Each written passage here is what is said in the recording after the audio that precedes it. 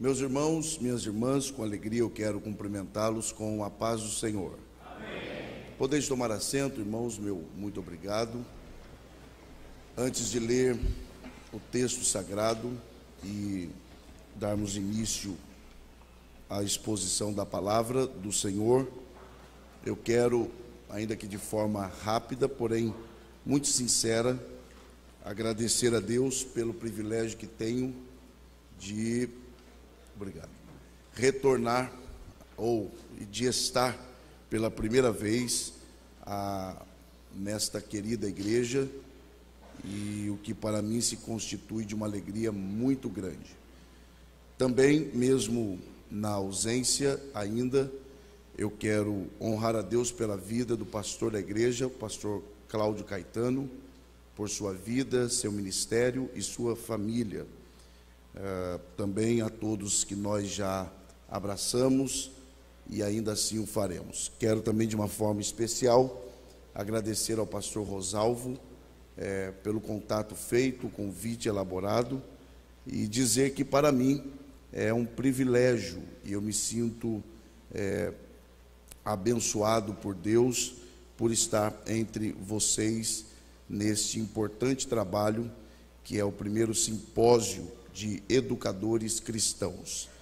Nós já vamos é, dar início a, a esta primeira parte, e nesta primeira parte nós vamos tratar sobre liderança como ministério. É, eu já quero de início dizer aos irmãos que há aí nas suas mãos uma apostila que nós, parte dela foi elaborada por mim, é, eu não vou estar aqui lendo a apostila com os irmãos.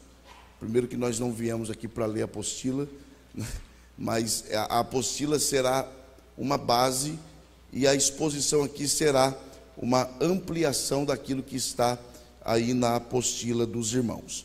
Para isto, eu lhe convido a abrir a sua Bíblia na primeira carta do apóstolo Paulo aos Coríntios. Primeira carta de Paulo aos Coríntios, capítulo 4. E nós vamos ler a partir do versículo 1 e encerraremos a leitura no versículo de número 5.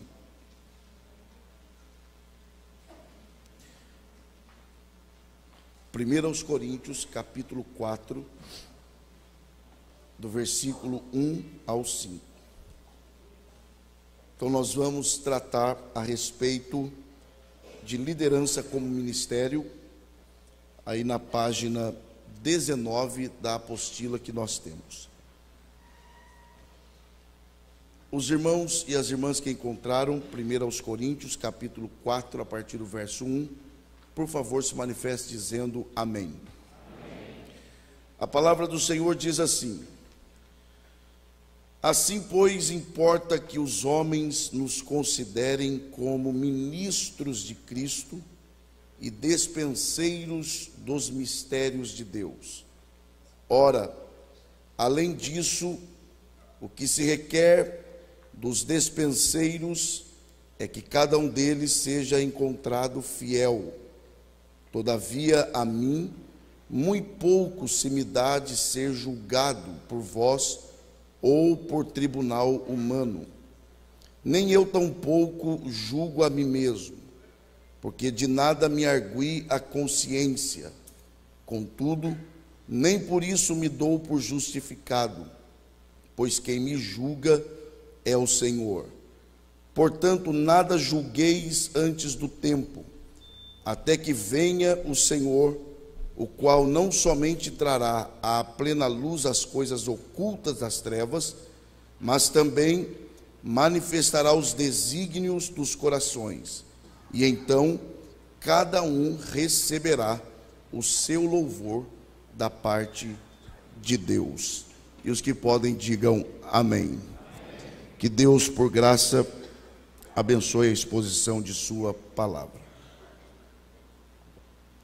Como nós temos destacado, a nossa proposta nessa primeira parte é tratar sobre liderança, mas liderança como é, ministério. Então, nosso, nossos principais objetivos aqui nesta parte, nesta primeira parte, é conhecer um pouco mais sobre a natureza e os, e os princípios de uma liderança espiritual. Quando eu digo natureza, eu estou falando é, a fonte, os princípios, as origens, as bases de uma liderança espiritual.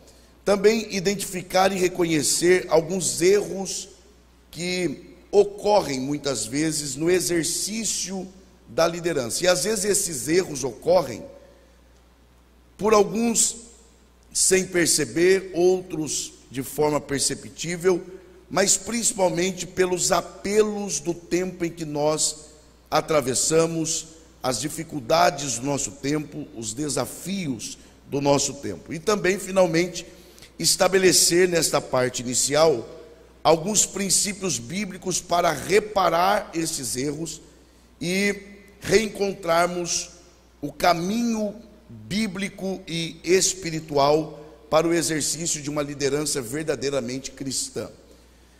Se nós fôssemos procurar uma palavra para definir, ou uma das palavras que mais tem sido usadas em nossos dias, seja por cristãos ou não, esta palavra é a expressão crise.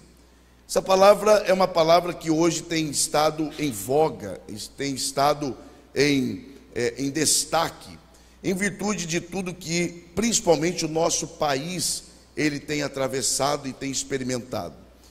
Mas essa expressão crise, ela, na verdade, ela não somente toca a questão econômica, não somente toca, não toca somente a questão política, moral, mas também, e aí eu não estou falando só em aspecto é, de liderança cristã, e quando eu falo de liderança cristã, eu estou falando no âmbito geral e não específico e não local, mas é, essa palavra crise, ela também tem tocado naquilo que diz respeito à liderança, no que diz respeito à figura de um líder, ou também a referência, ou a necessidade que o homem tem de uma referência.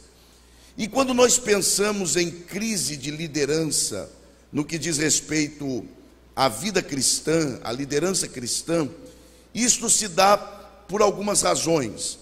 Dentre essas razões, eu destaco a que eu considero a principal, que é o fato de que nós abandonamos ou somos tendenciosos a abandonar o princípio deixado por Jesus.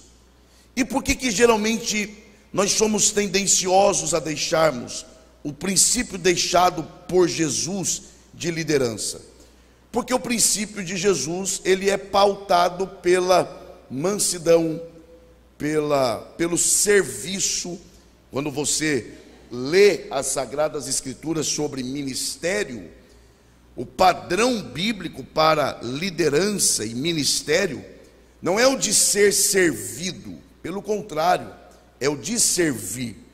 E é justamente por vivermos em um tempo denominado pós-moderno, e não somente isso, mas os modelos atuais de liderança secular, e que às vezes nos deixam é, perplexos e até somos tentados a, a, a adquirirmos esses padrões e começamos a abandonar os padrões deixados justamente pelo nosso Senhor. Com base nisso, eu destaco esta primeira verdade: Deus, ele não unge métodos.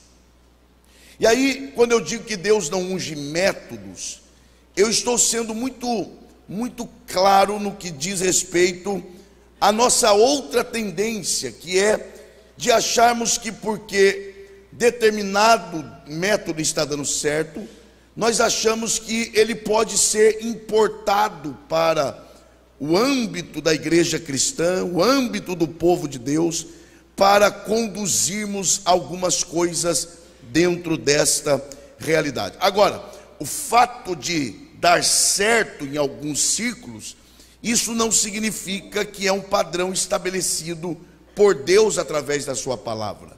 E aí, aqui é importante haver um destaque: que a nossa geração é uma geração marcada por aquilo que é chamado de pragmatismo, isto é, aquilo que dá certo. E aí não há muita preocupação com o que é certo, mas a preocupação é com aquilo que dá certo. Por exemplo, na própria prática da evangelização, isso aqui é só para dar um exemplo é, no que diz respeito à busca pelo que dá certo, em detrimento daquilo que é certo. Quando você pensa em evangelização, qual é o método correto para a evangelização? Qual é o padrão correto para a evangelização?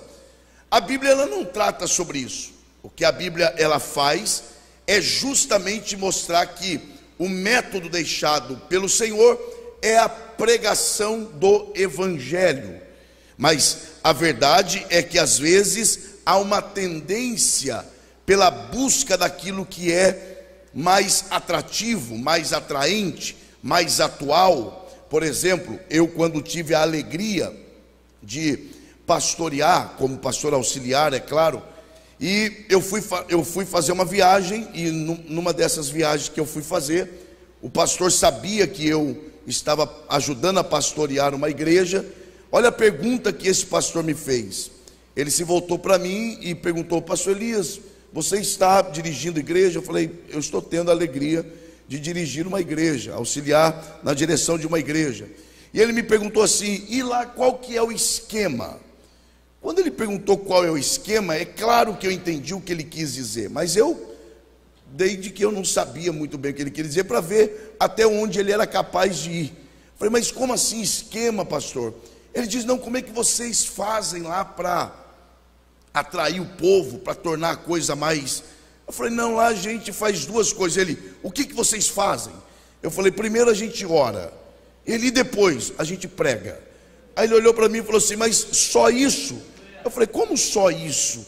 A gente ora e prega, prega e ora. Porque esse é o padrão que o Senhor deixou para a sua igreja no que diz respeito à evangelização. Então é preciso um olhar voltado não somente para o fato de que é preciso liderança cristã, mas a Bíblia não diz só que é preciso liderança cristã, ela estabelece o padrão de liderança cristã, que é com base no ministério. E aí, quando você fala em ministério em um país como o nosso, em que ministério, e aí você já pensa nos ministros que servem ao lado do presidente da república, você já pensa em pessoas que estão num alto escalão. Eu, por exemplo, já ouvi vários obreiros querendo né, é, dizer a respeito do seu ministério, dizendo: vocês me respeitem, porque eu também sou ministro, ministro, sim, ministro do Evangelho. Ou seja, eles se colocam no nível daqueles ministros da fazenda, ministro não sei do que, da cultura, do trabalho, porque dentro da perspectiva do nosso país, ministério é um alto escalão, quando na verdade, biblicamente falando, ministério não é ser servido, ministério é estar pronto para servir. Aleluia. Então, é preciso rever essa questão do que de fato a Bíblia quer dizer com liderança como ministério, liderança como serviço. E aí quando você começa a atentar para o que a Bíblia ela fala sobre liderança como ministério, o líder, e aí quando eu falo líder, não estou falando somente do líder maior da igreja, mas todos aqueles que atuam como liderança, seja em departamentos, seja em ministérios, seja como pai, seja como mãe, do ponto de vista bíblico, o líder cristão ele tem duas chamadas. Diga por favor, duas chamadas.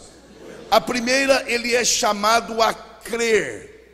E a segunda chamada é ele é chamado a servir. Você pode dizer isso, diga, eu fui chamado para crer. e eu fui chamado para servir. Então, observe que a primeira coisa que é preciso rever é que nós não fomos chamados primeiro para servir, primeiro nós fomos chamados para crer. E aí, quando você pensa em ser chamado para crer, você não está apenas falando de ser chamado para de acreditar, confiar, entregar a vida ao Senhor. Não. Você está falando também de ser chamado para se relacionar. Então, antes de você ser chamado para servir ao rei do reino, você foi chamado para se relacionar com o rei deste reino. Porque nada é pior do que alguém que no exercício e na tentativa de salvar os outros, no próprio exercício do seu ministério, ele se perder. Eu digo de novo: nada é pior para alguém do que no exercício do seu ministério e na tentativa de salvar os outros, você se perder. Então, antes de eu ser chamado para trabalhar para o rei, eu sou chamado para me relacionar com o rei. De que adianta trabalhar para o rei e não conhecer o rei? De que adianta trabalhar para o rei e não desenvolver um relacionamento com o rei? Tem gente que é bom de trabalho, mas é péssimo de coração. Tem gente que é bom de serviço, mas é péssimo em se relacionar com o pai. Lembra do filho mais velho? daquela parábola em que Jesus ele conta que nós chamamos de a parábola do filho pródigo. O filho mais velho, ele volta do campo. Ele estava no campo fazendo o quê? Trabalhando. Trabalhando para quem? Para o pai. Quando ele chega na casa, está tendo festa. Primeiro, tem festa e o filho não está sabendo que tem festa.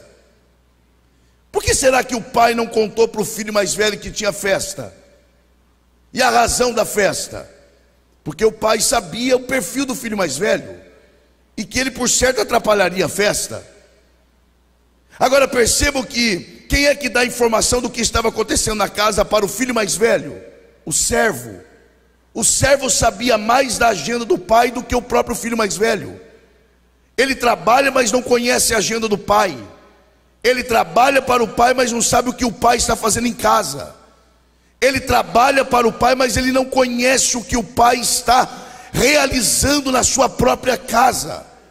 De que adianta trabalhar para o pai e não conhecer a agenda do pai? De que adianta trabalhar para o pai e não conhecer o coração do seu pai? Por isso Deus nos traz aqui essa tarde para dizer: antes de ser chamado para o serviço, você foi chamado para mim. Aleluia. Quantos querem atender esse chamado nessa tarde? Eu primeiro fui chamado para Deus, a Deus, para me relacionar com Deus, para que então depois eu possa então servi-lo em seu trabalho. Deixa eu fazer a, reduzir aqui o ritmo para nós refletirmos, ainda que de forma rápida. Existe um livro, e eu quero até indicar para vocês, o pastor americano chamado John Piper. O livro é Irmãos, nós não somos profissionais. Neste livro ele trata justamente sobre isso, de exercermos o ministério não como profissionais, mas como servos de Deus. E eu quero que você repita e eu gostaria que você fizesse um esforço para você repetir mesmo, enfaticamente, para você gravar e entender o que nós estamos tentando propor aqui.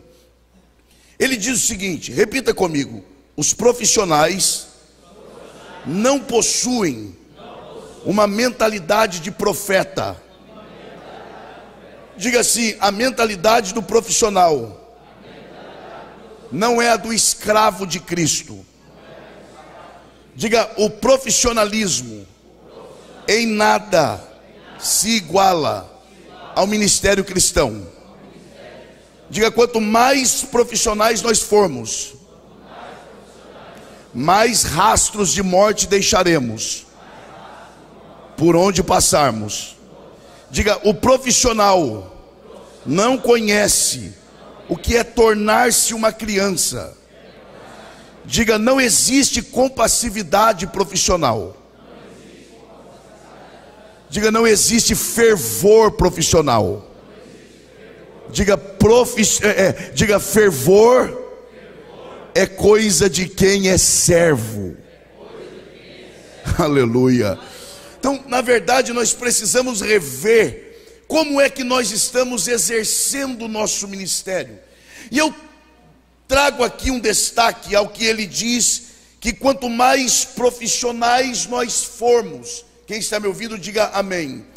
Quanto mais profissionais nós formos, mais rastros de morte nós deixaremos. Grande parte, grande, escute o que eu estou dizendo, grande parte dos escândalos que hoje nós vemos dentro do círculo chamado evangélico se dá justamente pelo abandono de um padrão de liderança serviçal, mas por um padrão de liderança que é servido e não que serve. E aí é um ponto que, para nós que trabalhamos com a igreja, para você que trabalha com liderança de igreja, é aquilo que Jesus falou: é lícito, e a palavra lícito aqui é, é normal, é possível, é certo que venha o escândalo. Mas olha o que Jesus diz: Mas ai, por quem vier. Dá para você pensar nisso? Ele diz: É lícito que venha, mas ai por quem vier. Aí Jesus acrescenta algo que me deixa assustado, porque ele diz assim: lhe seria melhor, eu vou até beber água aqui, lhe seria melhor amarrar uma pedra ao pescoço e se lançar ao mar. Você tem noção do que Jesus está dizendo aqui? Ele está literalmente dizendo: é melhor ser suicida do que ser promotor de escândalo. É a única vez que você vê Jesus dizendo que o suicídio vale a pena. Ele diz: entre ser suicida e promotor de escândalo, escolha ser suicida. Porque o preço será menor. Então por isso é preciso rever o que de fato a Bíblia nos ensina sobre padrão de liderança cristã como ministério. E aí, Paulo, no texto que nós lemos, ele vai nos mostrar qual é esse padrão. E aí, ele apresenta os líderes cristãos como ministros de Cristo. Você pode dizer isso, diga ministros de Cristo.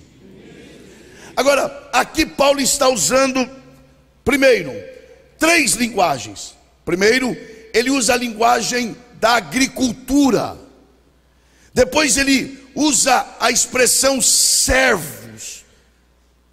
E depois, ele diz que nós temos que ser vistos como servos de Cristo.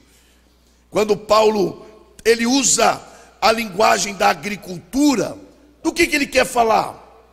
Lembra quando Paulo mesmo, escrevendo a Timóteo, ele diz sobre lavoura de Deus, edifício de Deus e atleta. Grave isso. Ele fala de três linguagens: atleta, lavoura e edifício de Deus. Independente do atleta ganhar ou não uma corrida, a gente aplaude, por exemplo, o fato de um atleta conseguir correr 10 quilômetros. Ele não chegou em primeiro, mas ele foi até o final. A gente aplaude, a gente elogia. Mas quem é que estava com o atleta quando ele treinava à noite, de madrugada, debaixo de sol, debaixo de chuva, quase ninguém, ou ninguém, mas no dia da apresentação, todos estavam lá, aplaudindo o atleta. Aí Paulo ainda fala da lavoura. Por exemplo, quando você come um tomate, você nem sempre se preocupa, ou quase nunca se preocupa, em saber quem foi que plantou. Você não come o tomate dizendo quem será que plantou isso aqui? Qual é o nome dessa pessoa? Não, porque a gente come do fruto de pessoas que trabalham no anonimato. Aí Paulo diz que nós somos lavoura de Deus. Mas Paulo diz também que nós somos edifício de Deus. Eu estou tentando terminar de construir minha casa. E eu me lembro que no início da construção da minha casa, ou fase difícil. Você coloca dinheiro e não vê para onde está indo o dinheiro. O pedreiro diz: compra 30 sacos de cimento. Aí você vai tentar ver onde está indo o cimento, você não vê, porque está dentro do buraco. E tem dia que você não vê nem o pedreiro. Você fala, e o pedreiro não veio trabalhar hoje, não é? É porque até ele está dentro do buraco trabalhando. Porque quem edifica, trabalha onde não é visto. É isso que Paulo está dizendo. Paulo está dizendo: quem é ministro de Cristo tem que saber trabalhar onde não é visto, onde não é aplaudido, onde é esquecido. Oh, glória a Deus! É por isso que nós precisamos reavaliar o que pensamos de liderança cristã, porque a honra do ministério, grave isso, a honra do ministério não está em no fato de quantos ou para quantos falamos, ou lugar onde estamos. Não, pelo contrário, a honra do ministério está no fato de quem nos chamou. Quer ver? Lembra de, do profeta Jeremias, Ezequiel e Daniel praticamente contemporâneos, com uma diferença. Não perca isso aqui não. Jeremias profetizava aos miseráveis. Ezequiel profetizava aos oficiais do templo, porque ele tinha sido sacerdote. enquanto isso, Daniel profetizava aos do palácio. Cá entre nós, quem é que estava sendo honrado ali? Dentro da visão atual. Daniel, que está no palácio. E quem é que estava na prova? Jeremias profetizando aos miseráveis.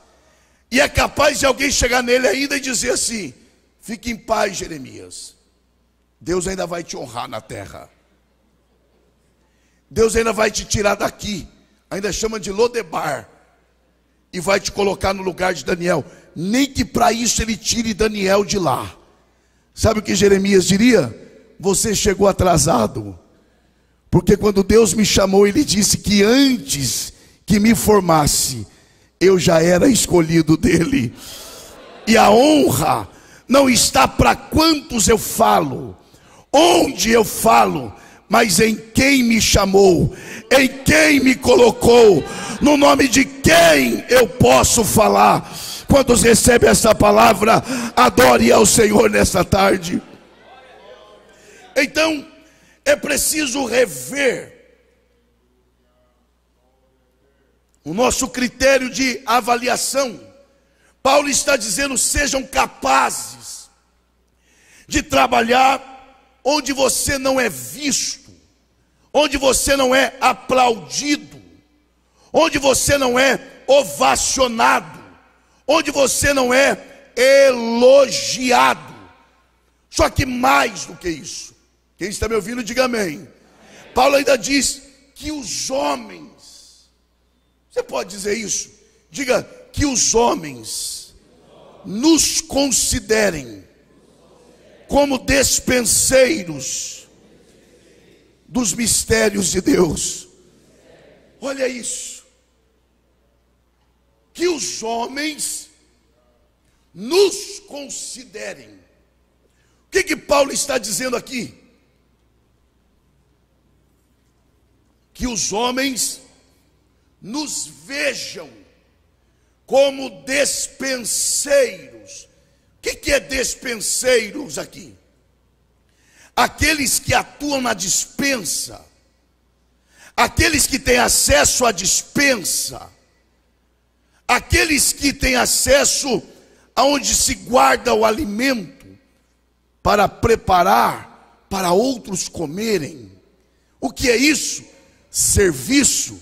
Quer ver que é isso mesmo? Todos estão assentados, só eu que estou em pé, exceto o nosso irmão que está trabalhando aqui na filmagem. Quando você vai a um restaurante e você vai ser servido pelo garçom, Garçom trabalha em que posição? Sentado ou em pé? E quem é servido fica como? Então quem é servo? Quem fica em pé ou quem fica sentado? Então quem prega é o que? Servo ao Senhor. Então pastor é o que? Servo ao Senhor. Então líder é o que? Servo ao Senhor. Então é isso. Você quando fala ao povo que você lidera, você não é senhor dele, você é servo dele você trabalha para Ele. Quer ver que é verdade? A gente se torna escravo desse negócio. Quer ver? Com todo respeito, pastor Cláudio, que eu tenho pelo senhor. O senhor só vem à igreja quando o senhor quer? Já teve dia do senhor vir sem querer vir? Esse meu Deus é muito sincero, né? Membro não. Membro tem o direito. Ele chega tarde em casa e diz assim: hoje é culto, é. Deixa eu ver. Vou não. Imagina o pastor falar isso, chegar tarde assim. Ah, hoje, hoje não. Hoje eu vou para o shopping, vou passear. Liderança tem esse, essa prerrogativa? Ele vem sem querer vir. Ele faz sem querer fazer. Ele fala querendo ficar quieto. Fica quieto querendo falar. Sorri querendo chorar. Chora querendo sorrir, meu irmão.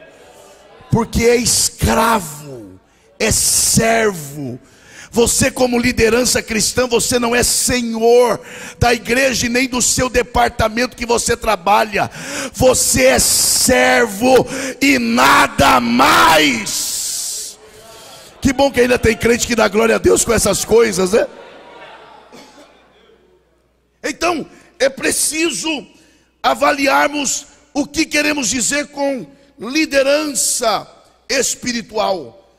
Paulo diz que os homens nos considerem. O que, que seria que os homens nos considerem? Que os homens nos vejam. Agora, como é que os homens podem nos ver se nós não nos comportamos como tal? Deixa eu dizer de novo.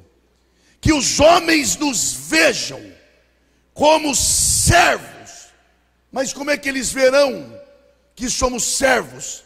se nós não nos comportamos como tais. Quer ver? Eu vou te contar um, um fato para tentar explicar o que eu estou querendo dizer. Um dia eu estava em casa, um sábado à tarde, e a televisão estava ligada. Estava lá passando um programa, um sábado à tarde, como este.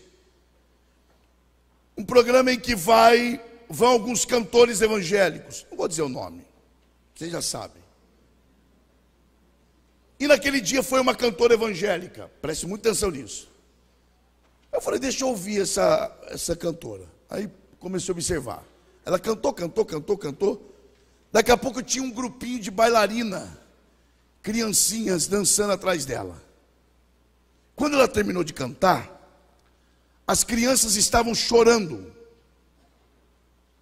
E eu achei aquele interessante, chorando, mas chorando, chorando. Aí o apresentador perguntou para uma delas: Por que, que vocês estão chorando? Aí a líderzinha delas falou assim: Não, porque nós amamos ela. Nós é, admiramos o trabalho dela. olha a carinha da cantora. Hum, lindo, eu acho isso lindo. Aí minha esposa falou assim: Elias, semana passada quem teve aí foi a Anitta, a fanqueira. Falei, qual foi o comportamento dessas meninas? Choraram também. E choraram por quê? Porque admiro o trabalho dela. Agora olha só. Na mente das crianças, qual a diferença entre a crente e a fanqueira? Nenhuma. A responsabilidade de mudar isso era de quem? Da cantora evangélica? De se posicionar e dizer: isso não é o papel de um ministério, levar pessoas a me admirar, mas o papel de um ministério é levar vocês a Cristo. Aí a gente se pergunta, pastor Cláudio, por que, que Deus não faz milagre, como fazia na época de Paulo? Ora, Paulo levantava um paralítico e queriam ovacioná-lo como Deus. Ele dizia: Eu não sou Deus. Hoje a pessoa, só porque canta afinado, ela já se coloca em posição de Deus. Imagina se levantar um paralítico. Então Deus tranca a mão mesmo. O que se precisa é de ministério que entenda que isso é serviço e nada mais. Diga ministério é serviço. Nós somos despenseiros dos mistérios de Deus. E que mistério é esse? Que mistério é esse? Senão o Evangelho. Diga eu sou não, com voz de quem de fato é. Diga: Eu sou, eu sou. servo, despenseiro dos mistérios de Deus. Agora, que mistério é esse não? O Evangelho. Agora deixa eu lhe dizer uma coisa que está queimando no meu coração. Por que, que nós sofremos tanto? E por que devemos sofrer tanto? Quando Paulo escreve a segunda carta aos Coríntios, no capítulo 4, verso 7, o que, que ele diz?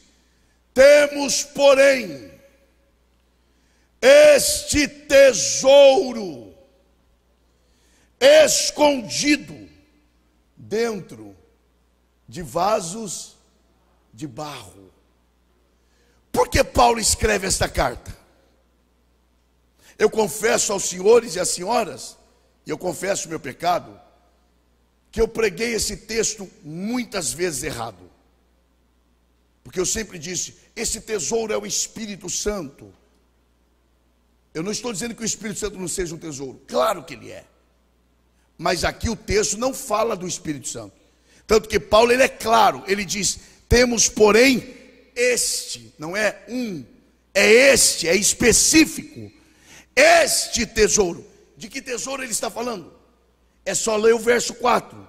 Nos quais o Deus desse século cegou o entendimento dos incrédulos, para que não venham ao pleno conhecimento da verdade de Deus.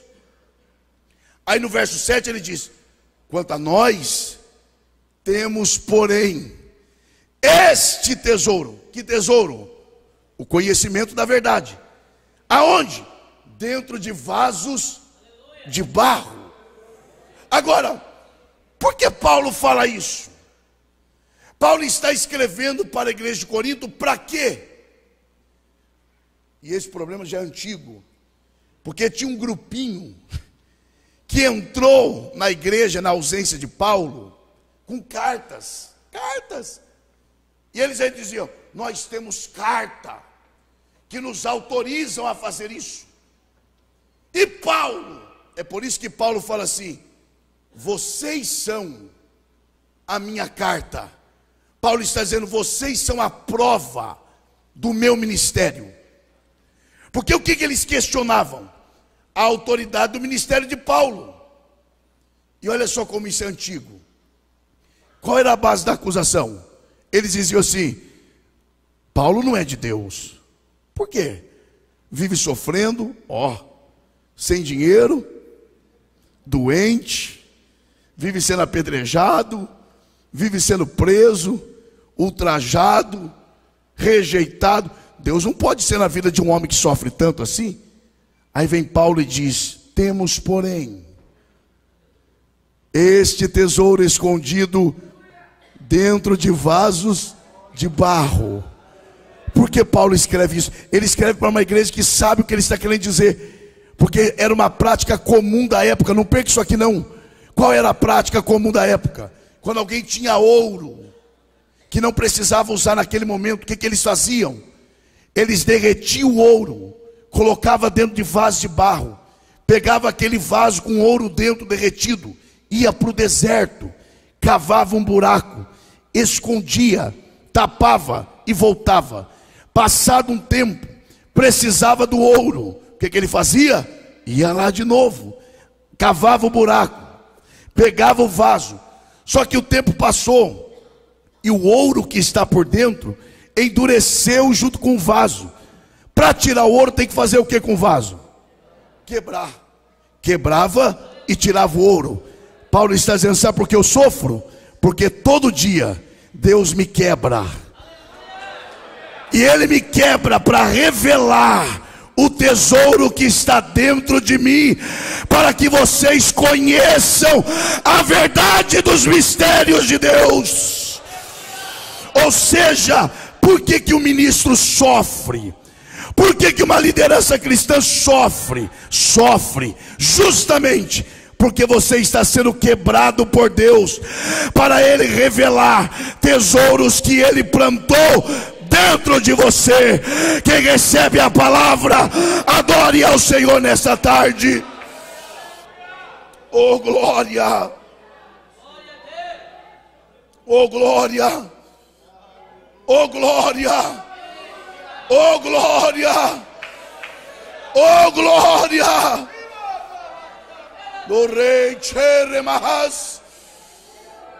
Diga bem forte, eu não fui chamado para o sucesso, eu fui chamado para a fidelidade.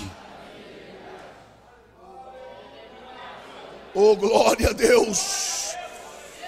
Nós temos que desconstruir essa ideia carnal de que ministério bem sucedido é aquele bem-sucedido nos moldes desta terra.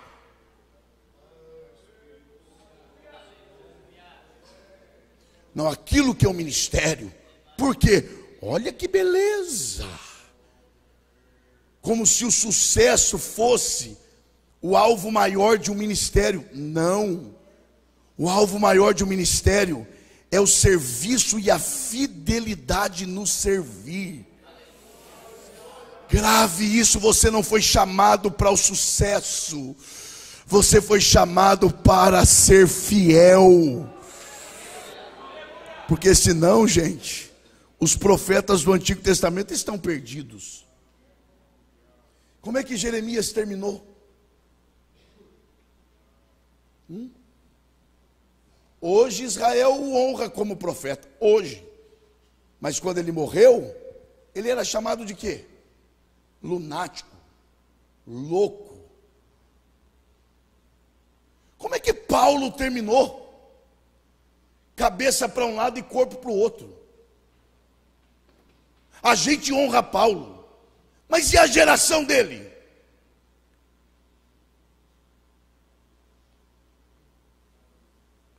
Terminou sozinho, clamando pela visita de Timóteo.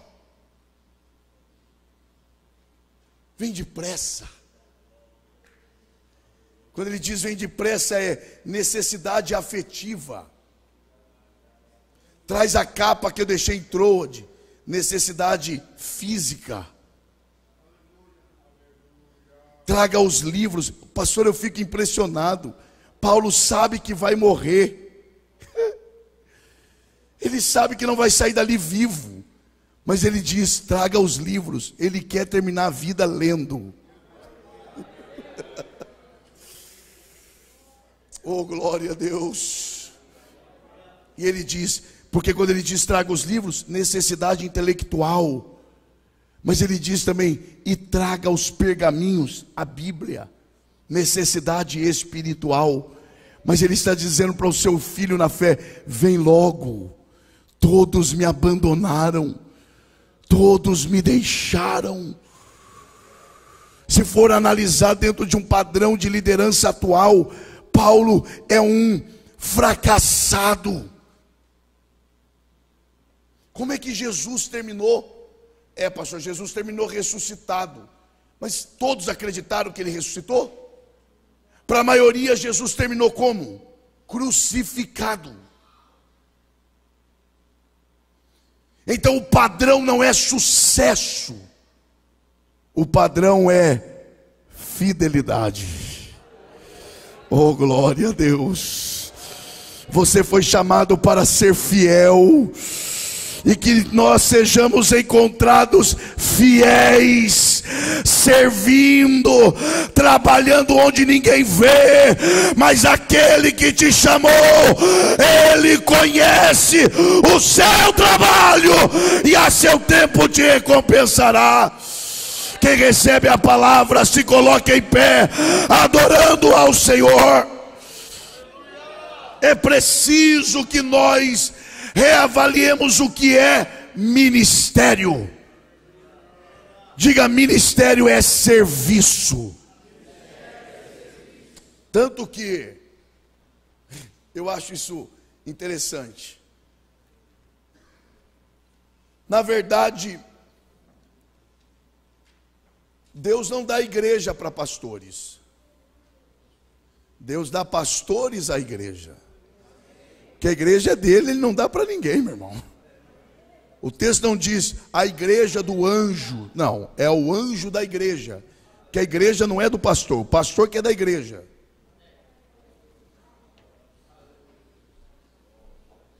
Ele não diz eu vou dar um presente para o pastor. Não, ele diz eu vou dar um presente para a igreja. E esse presente é o pastor. Aleluia.